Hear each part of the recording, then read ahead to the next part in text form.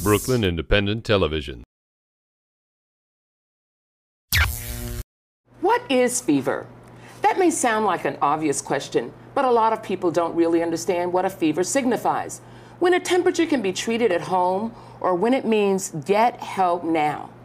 Fever also means different things for children and adults, and it should be handled differently in each case. Joining me to shed some light on all this body heat is Dr. Michael Lucchesi, Chief Medical Officer of the Downstate Medical Center Hospitals. Dr. Lucchesi, thanks for being here. Thank you for having me. Let's start with the definition. What's a fever? The medical definition of a fever is a temperature of 100.4 Fahrenheit or 38 degrees centigrade. So, is that the same for everybody?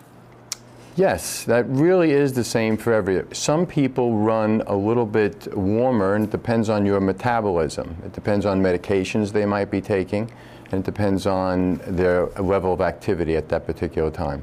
So that since everybody's temperature is 100.4 after 100.4 is a fever, is that the same for children and adults? Children have a much higher uh, swing of temperatures, so children tend to um, get fevers quicker. But for the children, it's the same medical definition of 100.4 degrees Fahrenheit, yes. You know, sometimes people come into the emergency room, and I'm sure you've seen a lot of them, and they say, My temperature is always 96. I run a low temperature, and when I have a uh, the thermometer says 99, that means I have a fever. How many times have you seen that? I've seen that all the time. but in fact, they don't have a fever if it's 99. That's very true, yes. Okay. One other thing about the range, what about different times of day? Is the temper the body temperature different at different times of day? Yes, the body temperature changes um, during particular times of day. People tend to run a few percentages of a degree higher in the evening, and it also depends on your activity level. Sure. When you sleep at night, your body temperature goes down a little bit because your metabolism goes down. If you're active, especially if you're active outside in ambient warm temperature, your body temperature could go up slightly. Now, when you see a um, person with a temperature, we're deciding now that it's over 100.4. Um, what's what's the first consideration? Well, uh, the, the, first, the first thing is, and again, um, what I would try to tell people is how you take the temperature is extremely important. There's oral temperatures, there's rectal temperatures. In children, they're using now uh, temperatures, tympanic membrane uh, um, uh, thermometers that'll take the uh, temperature. So they don't how do they, it under the arm anymore? They, they, we, we rarely do it under okay. the arm, and that's the most inaccurate way to do it. Okay, I'm dating myself, so let's not talk about that. Okay. Um, so the ear for children, uh, oral, and rectal. And rectal, yes. Okay. And, and if uh, the, even the ear temperature could vary significantly if there's cerumen, if there's wax that's impacted in there, that can also alter. The most accurate way is a rectal temperature. Now, who are the people who are most prone to these temperature swings um, in the population? Is it the elderly or the children active people who is it uh, children and active people will have the, more of the temperature swings we get are a little bit um, you, will you'll, you'll scrutinize uh, the fever to a little bit of a greater extent in the very young and the very old. Everything in medicine is vulnerability. Very young and very old are the most vulnerable.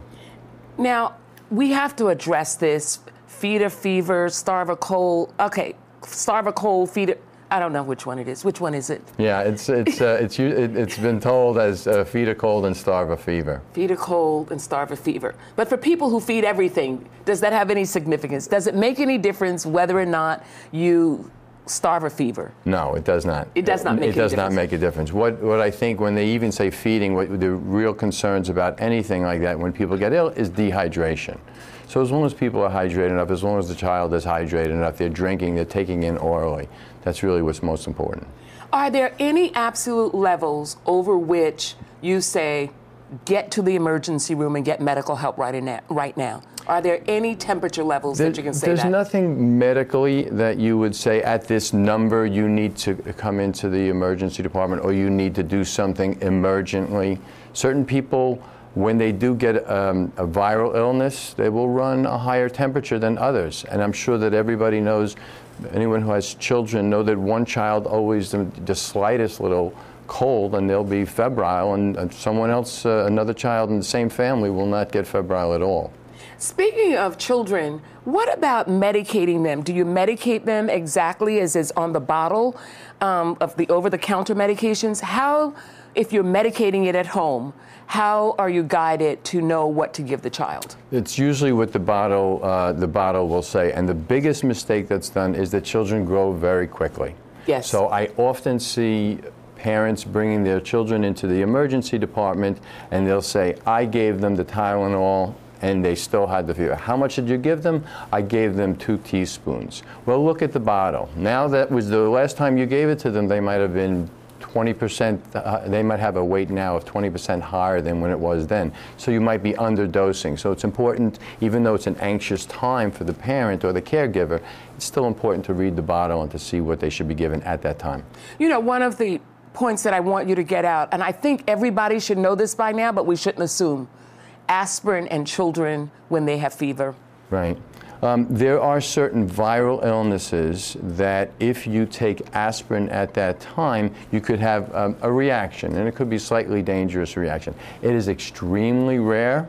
Um, and in children, we rarely use aspirin. We'll use another type of non-steroidal anti-inflammatory drug, which is ibuprofen. Okay. And, and that's, that's fine and that's perfectly safe. Both that and acetaminophen, more commonly known as Tylenol, are both perfectly safe in fevers. But in general, just to avoid any problem, just in general, use the other two instead of aspirin. Use either the ibuprofen or the acetaminophen, yes. In older people, do you make any consideration for the level of the temperature?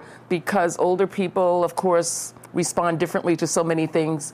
Is a temperature of 101 treated differently in terms of its seriousness for an older person than in, say, a child? We usually are a little bit more concerned about older people. And when older people can have even a slight fever, they could have an alteration in their thinking pattern, alteration in their sensorium. So that's concerning. So a lot of times older people will come in and they'll have a fever and they'll be completely confused. You treat their fever and they become completely lucent again. So at that initial phase when they're confused, and that's one of the red flags with the fever is when the thinking pattern is not is not the way it normally should be. That's a little bit one of the concerning times. So yes, elderly people do get a little bit more uh, uh, confused when they get fevers. So there's no absolute number, is what you're saying uh, for when to take people to the emergency room. What about duration of fever? Duration of fever, uh, there, are, there are viral illnesses that can last 24 hours, and there are viral illnesses that can last five to seven days.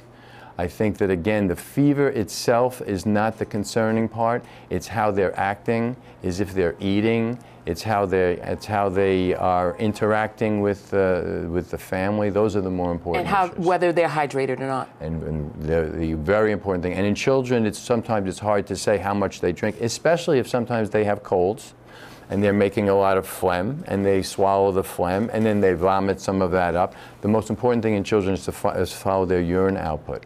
We're going to have to leave it at that, Dr. Lucchesi. Thank you so much for being here. Thank you very much for having me. Become a fan on Facebook. Like Brooklyn Independent Television.